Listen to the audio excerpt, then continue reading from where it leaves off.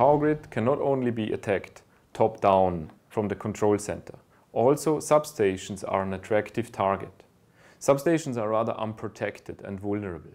We've got legacy devices, outdated firmware, and if you plug into the switch, you got full network access to all of these devices.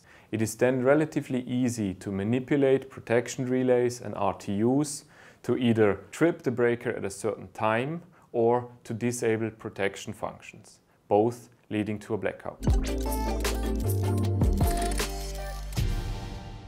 A firewall can only protect what is going in and out from the substation, but everything happening inside the substation network is not visible to the firewall and nothing can be detected there. Such a bottom-up attack happened for the first time already 2010 in the famous Stuxnet cyber attack.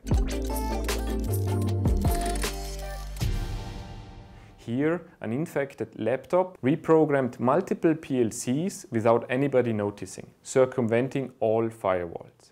The same thing could also happen in a substation, where an engineer plugs his maintenance laptop into the front port of the IED or into the network.